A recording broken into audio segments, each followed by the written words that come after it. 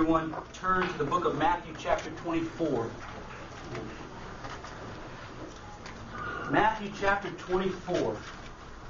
Y'all going to enjoy today's message. Amen.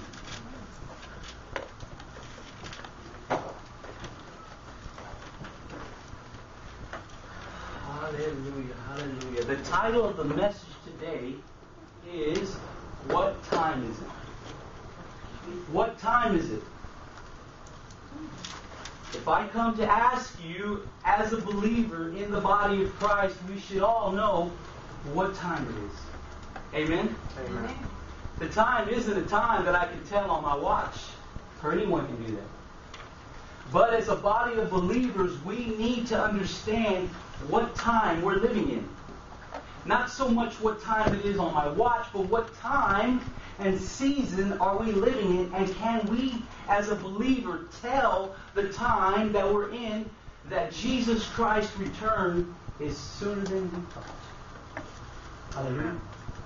His return is sooner than we thought. Than when we first believed upon Jesus Christ and what He did for us at the cross. We all received Him into our life here in this ministry. Amen? We understand that Jesus Christ had to go to the cross, that no one comes to God except through Jesus Christ. He is the way, the truth, and the life. No one can come to the Father except through Him. Amen. Amen? We have to go through the blood. The blood allows us to come have fellowship with the holy God. Amen. Because of our sin, our sin bars us from having fellowship with God the Father. Amen. Amen. And we have that sin that was passed on to us because of what Adam and Eve did all the way in the Garden of Eden. Amen? Amen. Amen. So when they sinned, sin was birthed into the world. That's why no one can deny that we are born into sin. Why? Because the, the law of sin and death is universal. Well, what do you mean, Pastor? That means that every one of us is going to die. If you tell me different, you're lying. Yeah. Can everyone at least agree on that? Can you sit here today and tell me why you died?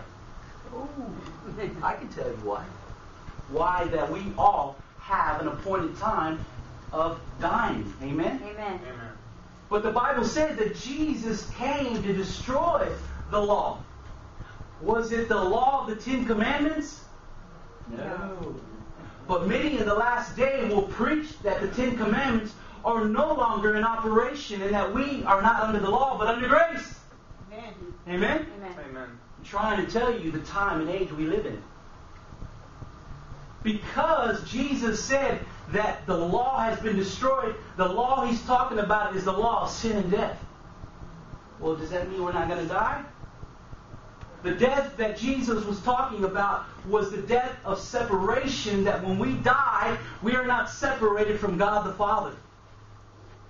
And sin was destroyed at the cross. It was broken. The sinful nature that we are born with, as soon as you receive Jesus Christ as Lord and Savior into your life, the power of sin over your life is broken. Amen. You no longer have any obligation to follow after your sinful nature or whatever it craves, because we all have a sinful nature. Amen. Amen?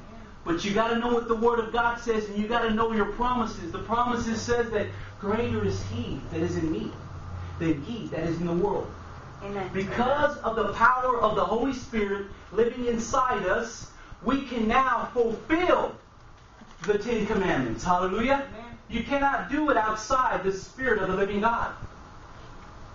You can only do it through the Holy Spirit. Everybody with me? Amen. For the law of sin and death has been destroyed. That's why we need a Savior. Because of the anger that was kindled against us by God because of sin and because of the rebellion that happened all the way back in the Garden of Eden. The blood of bulls and goats could not cover sin. There was a blood sacrifice that needed to be made in order for sin to be washed away. So God required animals to be brought into the tabernacle to be slaughtered and slain on behalf of the sins of Israel. Everybody with me? Amen. He said that's not good enough because that blood only covered. It could not wash away the conscious sinful nature of man. Amen. Even though we sin, what gets attacked when you sin? As soon as you sin, you missed it. I'm talking to you believers. Amen. The first thing the Holy Spirit starts dealing with is your conscious mind. Amen. It starts bothering you. That's the conviction of the Holy Spirit. He calls you back to fellowship with Him. He loves on you. He convicts you to come back. Amen? Amen. So that you can be back in fellowship with God. So the blood is important because the blood of animals and bulls could not cover. Only the blood of Jesus could wipe away sin and wipe away the sin conscious mind that people had. Amen. Everybody understand why Jesus came? When that blood was shed at Calvary at the cross, it satisfied the anger of God against us. It removed the anger. It removed the judgment that God had upon his people. Hallelujah. That judgment now is held onto an appointed day. So the judgment that the Bible talks about, the tribulations and all of the things, the terrible things it talks about that's coming upon the earth, has not come upon the earth. But like I said in the beginning, the title is What Time Is It? We can still tell time as a believer, a believer who is in tune with the Holy Ghost Amen. so that you can understand the season we're living in. These are truly the last days. And as we get closer to Christ's return, the church is going to start shrinking. Amen. Amen. Amen. The true church the true church is going to start shrinking. And it hurts my heart. And I can do everything to cry out to serve God. Serve Him with all your heart. Serve Him with all your mind. Serve Him with all your body. Because these are the days that you should not be lacking in your prayer. This isn't the time to be lacking in prayer, Hallelujah. to be lacking in word, to be lacking in your commitment to the church that you belong to, to the body of Christ. Hallelujah. But the Bible says they will heap to themselves teachers. They will find themselves teachers that will tell them what their itching ears want to hear. Amen. They're going to run to and fro with every wind of doctrine that's coming behind the pulpit. Amen. And they will believe many ways that goes to the Father, but there is only one way. And the Bible says narrow is the way. Why? Because Jesus is the only way. Hallelujah. Amen. That's why the door is narrow. And the Bible says, broad is the way of destruction, and many fall by the way. Hallelujah. Because there's many roads to God, but there's only one way to get to Him, and that's through the blood. You have to Amen. go through the blood. Amen. That's why when Jesus was talking to his disciples, how many knows the Holy Ghost speaking? Hallelujah. Amen. When his disciples looked after Jesus spoke that great word, he said that unless you eat of my flesh and drink of my blood, you cannot be part of me. And the disciples looked at him, not the twelve, but many that followed him, including his twelve, said, How can we understand this? This is a hard thing to understand.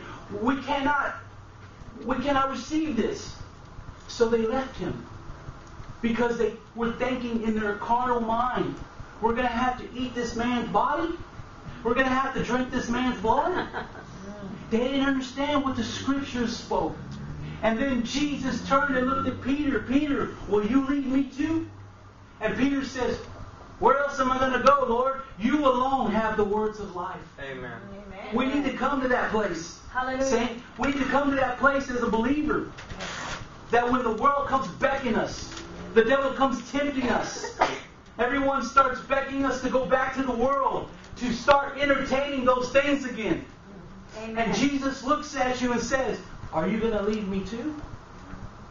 We should be the one that stands up and says, No, Lord, for thou art the Christ, the anointed one, the Messiah, the King of kings and the Lord of lords. Amen. Those that are out there may call him Jesus, but I call him Lord. Hallelujah. Hallelujah. You've got to make him Lord of your life. Not Hallelujah. just knowing what the scriptures say, but obeying what the scriptures say. Hallelujah. We must be doers and not just hearers of the word. Amen. So we need to come through that blood. We need to come through the blood of Jesus in order to have fellowship with God the Father. That is the good news of the Bible. Amen?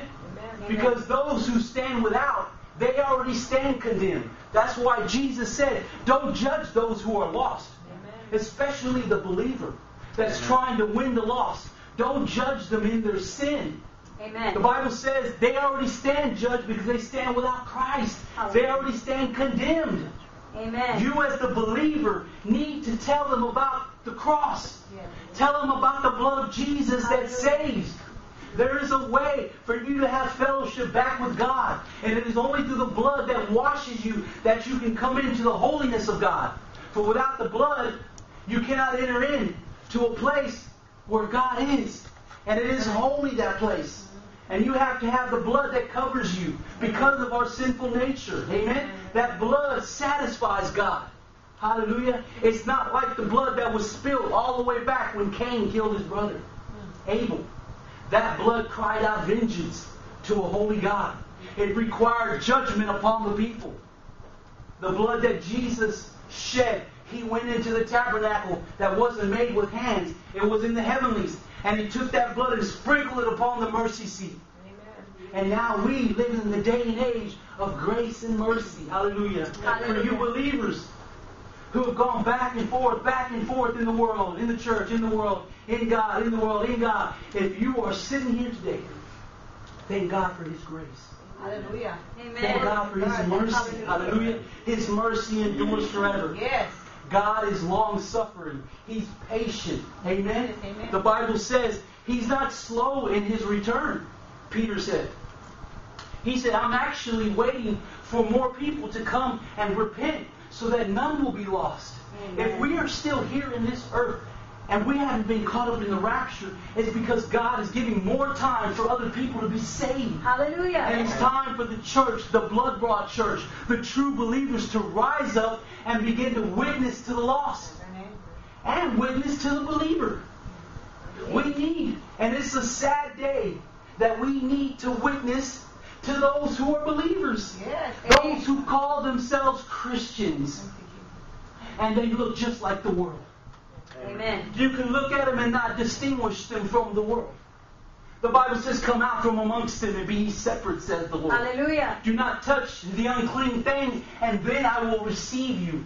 And he also says, I will walk with you. That's your fellowship. Amen. If you're here today and you're involved in unclean things, God will not fellowship with you. Amen. I Amen. didn't say you lost your salvation.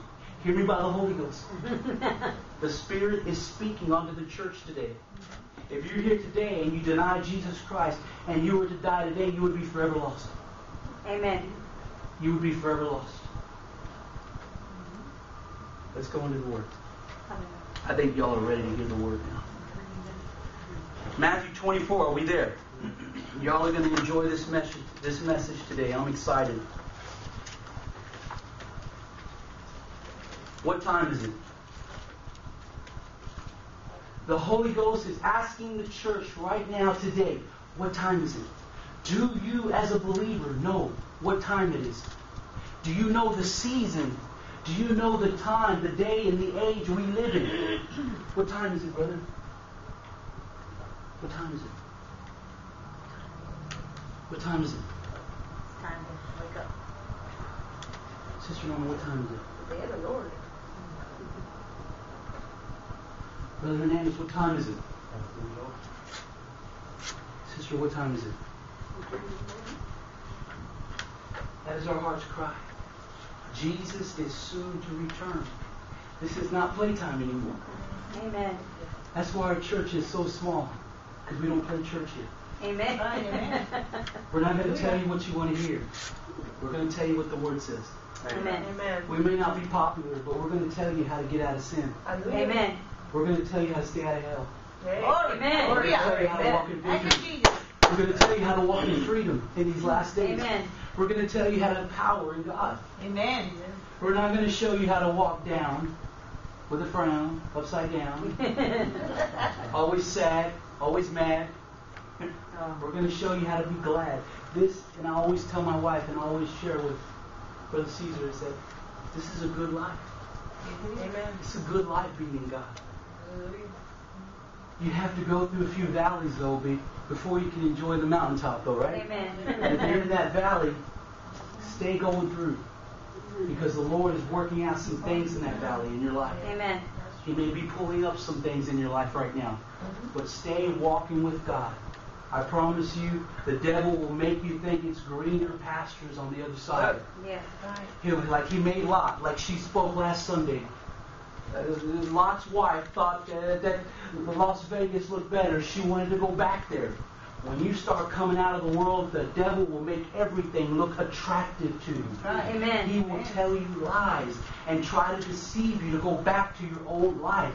Yes. The Bible says, forgetting those things of the past, pressing on to the future, of the high calling in Christ Jesus. Amen. Amen. Amen. We must not look back. We must continue looking forward. Hallelujah. Amen? Hallelujah. Jesus, the author and the finisher of our faith. Let's read. As Jesus was leaving the temple grounds, his disciples pointed out to him the various temple buildings. But he responded, Do you see all these buildings? That's Jesus talking. I tell you the truth, they will be completely demolished. Not one stone will be left on top of another. And that's already come to pass that uh, all those buildings were destroyed years later after Christ had already ascended and the church had been birthed. Those temple buildings were destroyed that Christ was prophesying about. Amen? Let's keep reading. Later, Jesus sat on the Mount of Olives where he used to go quite a bit to pray. His disciples came to him privately and said, Tell us when all this will happen. What sign will signal your return and the end of the world? It was a custom in those times for rabbis and teachers to sit while they taught. It was considered a teacher's position when they sat because those around were about to receive something from the master, Amen. from the teacher, from the rabbi at that time. But I got to tell you something. God gave me a revelation in the scripture, in this little piece I read.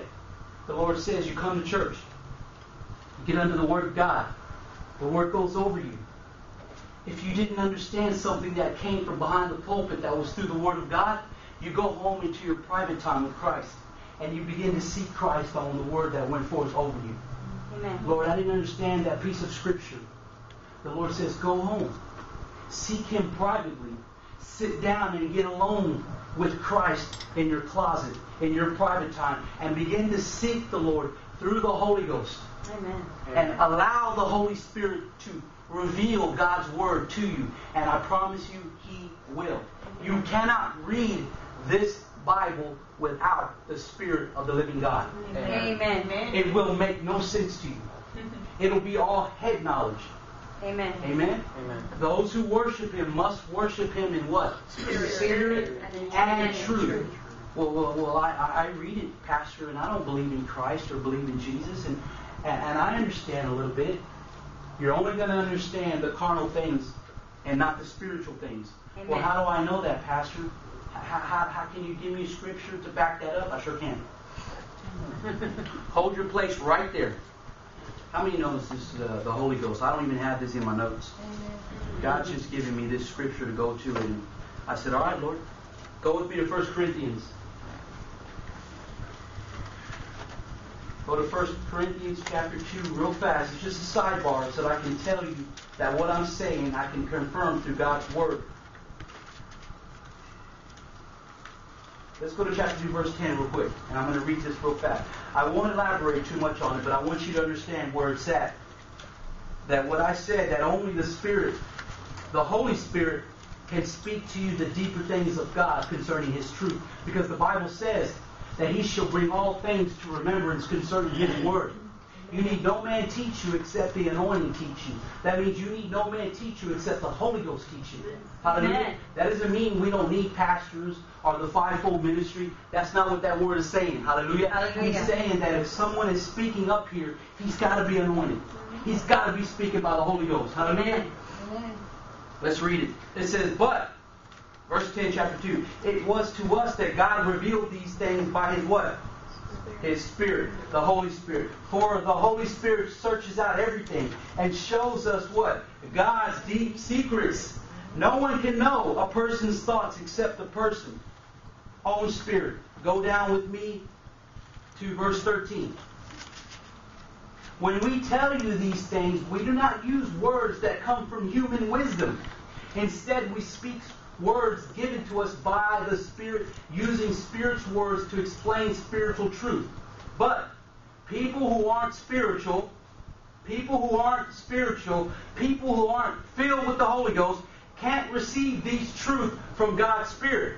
It all sounds foolish to them, and they can't understand it. For only those who are spiritual, saved, filled with the Holy Ghost, can understand what the Spirit means. Amen. Amen. Is that powerful or what? Amen. Amen. The word will be rightly divided. You cannot come against the word of God. Amen. Amen. Scripture interprets scripture. I will never give you anything from behind this pulpit that's not lined up with God's word. And if I say something, I'll take you to the word. Amen. Amen. Go back with me in Matthew 24. Verse 4. We're on chapter 24, verse 4. Are we there? It is here. Verse 4 says, Jesus told them, Don't let anyone mislead you. For many will come in my name claiming I am the Messiah, and they will deceive many. First sign. I told you in the beginning of the message what time it is. This is the first telltale time, telltale sign that is starting the last days that we're living in. How many knows there's been many that have already come onto the scene and claimed to be Christ, that have claimed to be the Messiah? Amen. How many knows who David Koresh was? Yes. Is that correct name I say it right? Mm-hmm. Yeah. Everybody know who that was? He claimed to be the Messiah. He came to believe, believe that he was, he, he convinced his congregation that he was Jesus. And that he was, and that he was about to take them home. He was getting his people ready. And that Armageddon was upon them. There was a great battle and war fixing to come upon them. So they had to get rifles and guns and machine guns. And the congregation believed him. So when the authorities showed up to arrest the man, he told his congregation, Armageddon's upon us. They've come to arrest your Messiah. So he had, they had to use guns and whatnot. How many knows they were deceived as Christ said here, he's warning us, Yeah. giving us instructions that many will come, he said. He's not the only one. No. Who's the other one that made them all drink the Kool-Aid? What was his name? Jim Jones? Jim Jones. Everybody knows who Jim Jones was. Yeah. There's another one that said he was the Messiah. he was the anointed one. And that they were all going to go be in heaven. And that he had to get this special Kool-Aid made so everybody can drink the Kool-Aid. And how many knows there was poison in that Kool-Aid? And here comes the authorities coming to, to arrest this man also. Uh-huh. And he said also, they're upon us. We need to hurry up and get saved and drink the Kool-Aid. So they drank the Kool-Aid and the whole congregation was wiped out. Yeah. Even little kids. Yeah. The devil isn't messing around. How many knows that's all demonic? There's many doctrines. The Bible says, don't, don't be tossed to and fro with every wind of doctrine. If you're listening to that doctrine and that, what do I mean by doctrine? A, a, a collective amount of something that forms a base or forms a, a, a faith. Like you're going to go and, and you're going to start studying demonology. Hmm, yeah. You start studying demonology, you're going to find demons in every bush. You're going to turn on the sink, there's a demon in my sink. You turn on the, the oven, there's a demon in my oven. My changer's not working, oh, there's a demon in my changer. I promise you, that's why the Bible says, keep the things of evil simple. We're not called to study all those religions, all Jehovah's Witnesses, all about the Mormons, all about those other types of, uh, of religions that are out there right now. God doesn't call us to do that. He calls us to study the Word of God. So when we're ready to be confronted, we can pull our sword out. And we're ready to defend the truth and to defend the gospel because we have studied to show ourselves approved unto God. A workman that never needs to be ashamed, that knows how to rightly divide the word of truth. Hallelujah. Amen. How many knows the Spirit, the sword of the Spirit is our weapon? But we don't use it against each other, okay? Amen. We use it a lot against each other, amen? Amen. You know, you know, you know, you know, you know, you know. Oh, come on now. Yeah. We use it against the devil. And we use it against sin. Amen? Amen. Hallelujah. Y'all enjoying this? Amen. Praise Jesus. So here's the first telltale sign.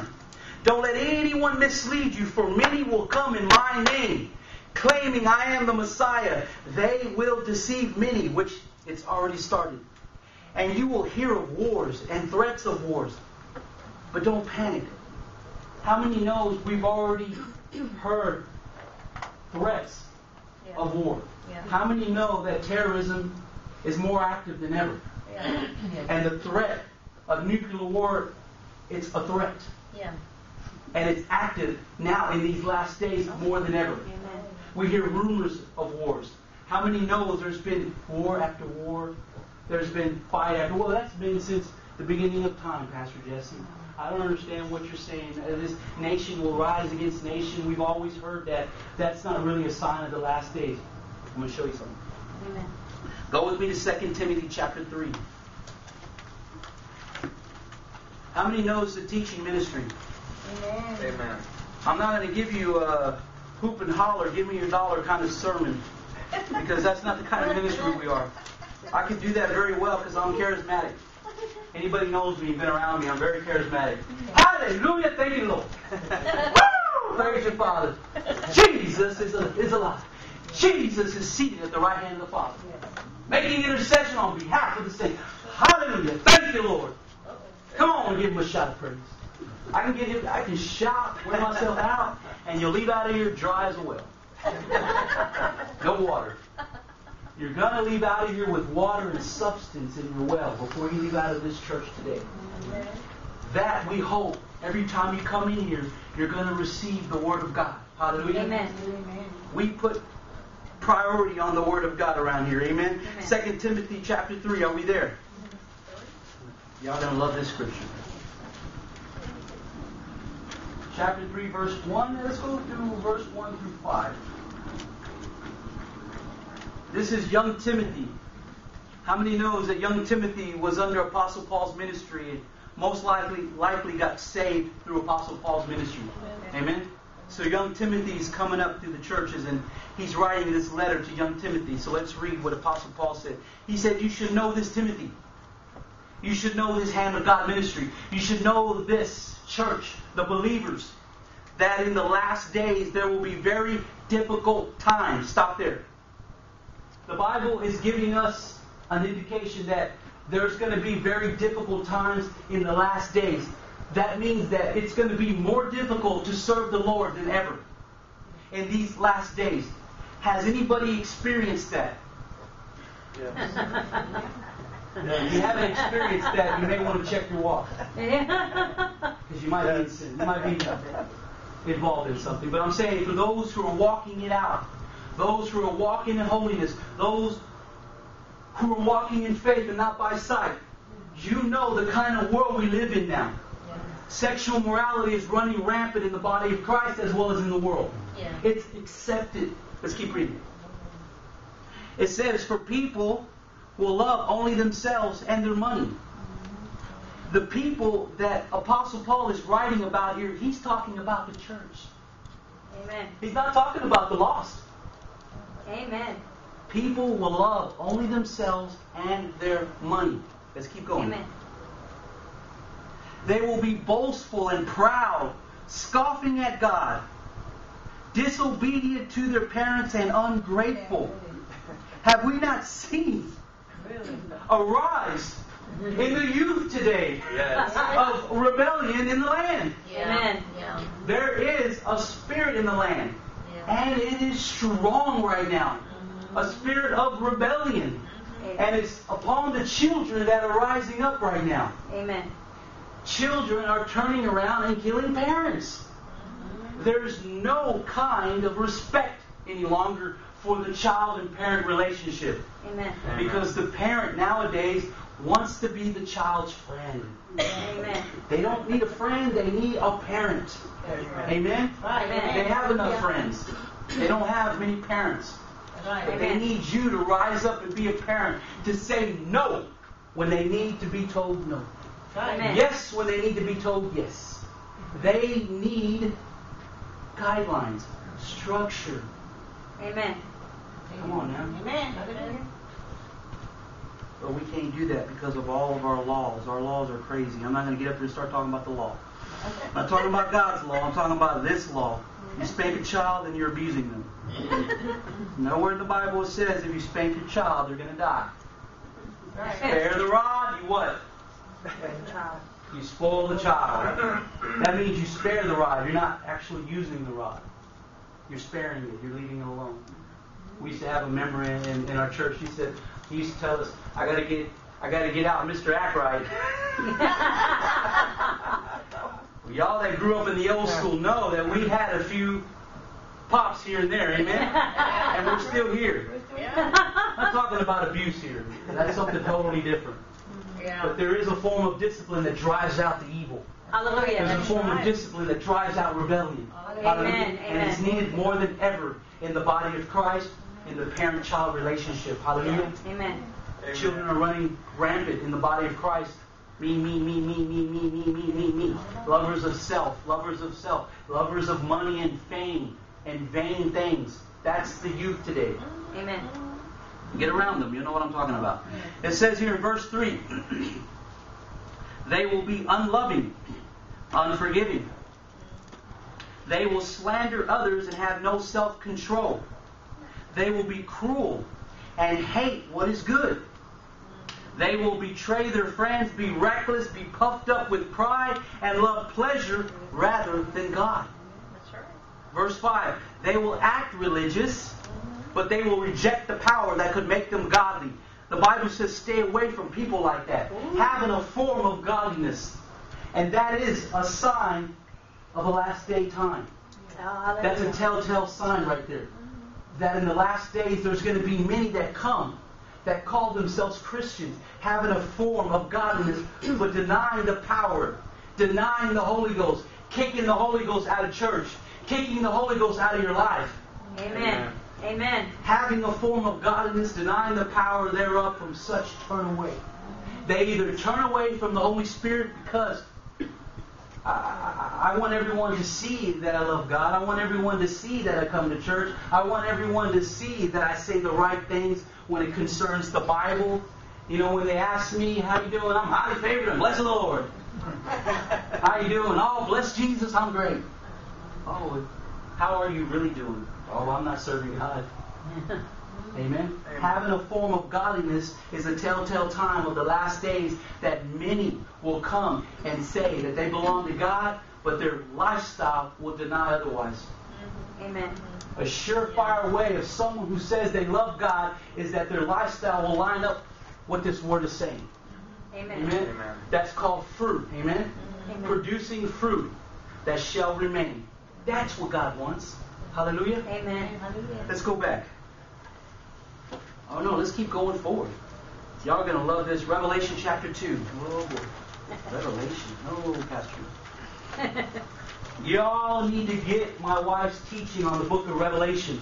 Powerful stuff. I'm saying the whole book of Revelation from chapter 1 all the way to chapter what? 22, 23? 22? 22 chapters she took us through. A season of the whole book of Revelation she has on CD. If you don't have it, you've got to get it.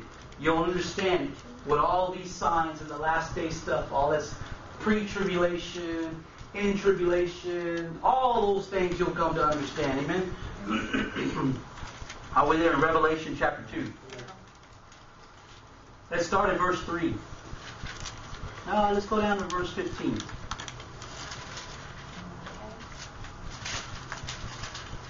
Chapter 2 or chapter 3? Chapter 2. I'm sorry, chapter 2, verse 4. Let's see, verse 4 and 5 and 6.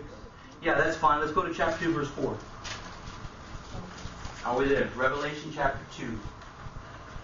It says, But I have this complaint against you, you don't love me or each other as you did at first. Look how far you have fallen. Turn. Are we all there? Amen. Revelation chapter 2, Amen. verse 4. He says, But I have this complaint against you, church. You don't love me or each other as you did at first. Look how far you have fallen. Turn back to me and do the works you did at first. If you don't repent, I will come and remove your lampstand from its place among the churches. Go with me to chapter 3, verse 15 and 16.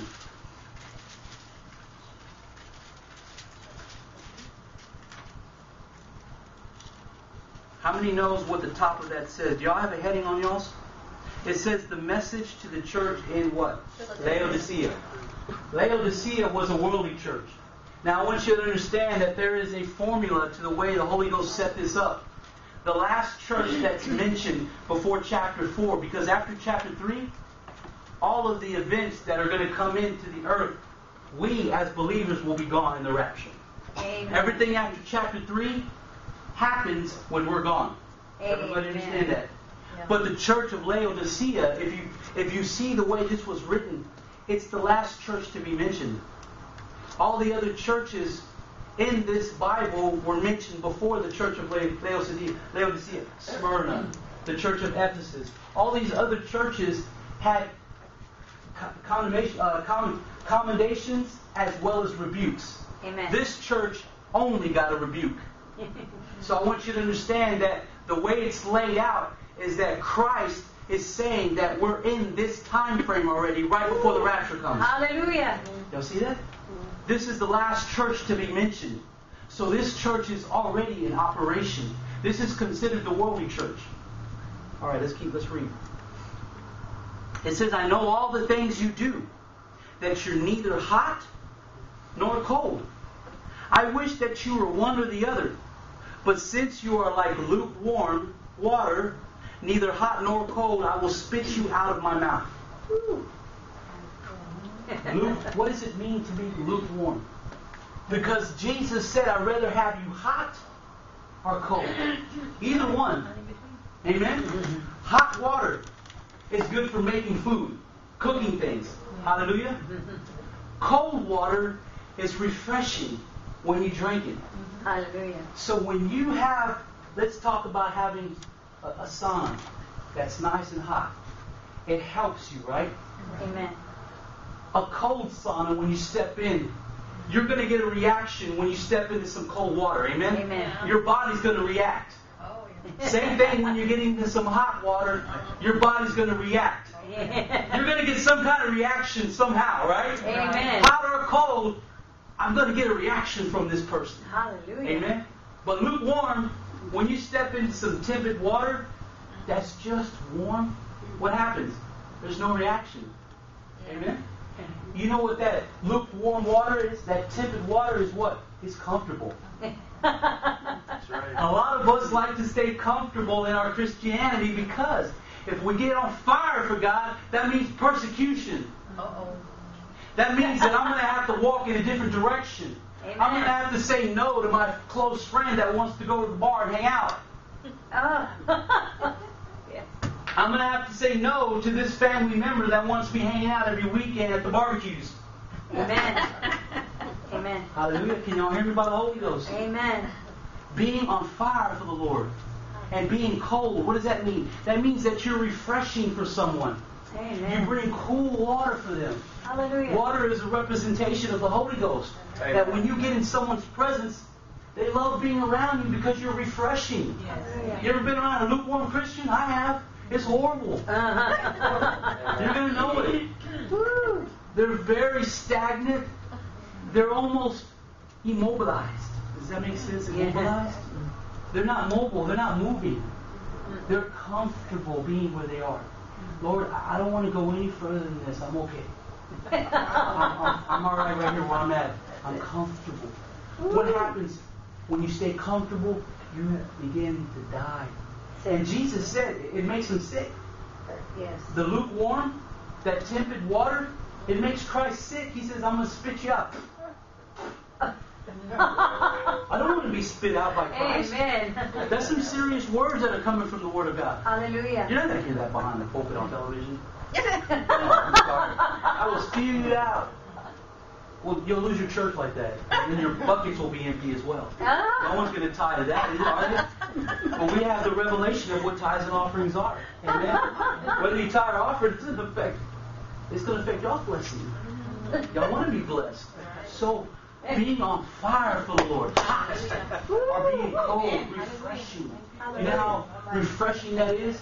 Even though Apostle Paul was in prison, and he said that when Matthew came to visit him in the prison, he brought word with him. He said, I, I, I got to find out whether or not the church is staying strong. I got to find out whether or not they're still serving the Lord. He says, go and find out. Because he couldn't call the cell phone. He had to run over there. And Apostle Paul's in prison at this point, and he's waiting for the word to come back. Why? Because all he needed to go forward is to know that his brothers over there were still serving the Lord, and that his labor was not in vain. Amen. So they came back with the word and told Apostle Paul, Apostle Paul, they're serving God more than ever. And they're on fire for you. They're on fire for the Lord, and they remember your visit when you came last to preach to them. And, he, and then Apostle Paul says, now I can go on. He says, because what brings me joy is you. What brings my wife and I joy is when you begin to grow in the Lord, when you begin to serve the Lord, when you begin to produce fruit for the Lord, Amen. when you come out of, of, of, of bondage and you begin to be set free and delivered and healed and getting a hold of God's Word and not wanting anything to do with the world. That's what keeps us coming here and ministering. Amen. Yeah. You are our laborer that among the Lord, but it's a labor of love. And we do it because we love everyone here. Hallelujah. Amen. Let's keep reading. Hallelujah. So it says here, uh,